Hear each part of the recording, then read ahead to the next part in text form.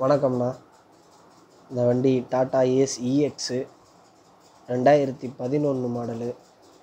மதுரையில் ஸ்ரீ பெரியாண்டவர் ஆட்டோ கன்சல்டிங்கில் நிற்கிது இந்த வண்டிக்கு எஃப்சி ஒரு பத்து மாதம் லைவில் இருக்குண்ணா.